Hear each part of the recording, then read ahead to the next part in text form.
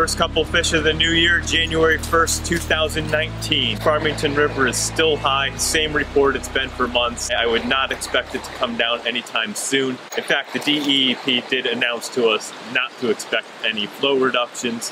Um, plus we had some more rain last night, so the levels are up. Winter fishing, cold, river's high, gets to be a little bit tougher. Today it's a little bit warmer. A lot of times when the river does get high, I go off and hit the small streams, go for the wilds. So that's what I'm out here doing today, hiking around with the dog. There she goes now. And scooping up a bunch of wilds. Mainly using junk flies.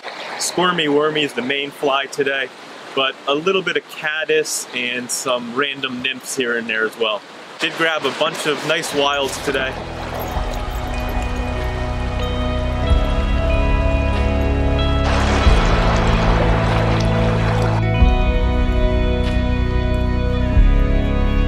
One. There we go. Come on, get up here. Beauty.